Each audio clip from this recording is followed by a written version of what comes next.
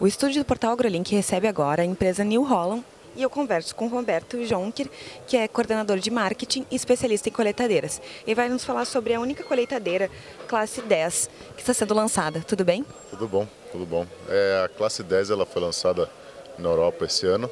Né, ela vem com um perfil de 652 cavalos, um motor de 16 litros.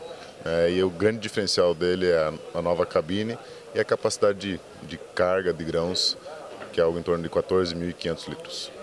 Quais seriam os grandes benefícios e vantagens para o agricultor? Capacidade produtiva. É uma máquina com altíssima capacidade. Né?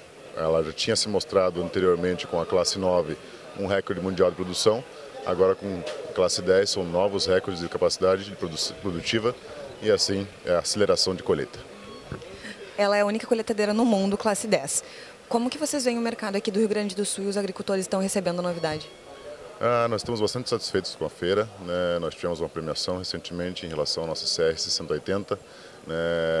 Essa premiação valoriza o mercado, é uma máquina que está muito bem colocada, é uma máquina de classe 6, né? que está mais adaptada às condições aqui do, Rio Grande do Sul em outras novidades que a New Holland trouxe para a Expo Inter? É, da parte de colheitadeiras, uh, o grande destaque ficou mesmo para 6080, com a premiação do Gerdau, né, com o é, destaque ouro, conseguindo assim então a, a maior aprovação dos clientes por trás de uma colheitadeira.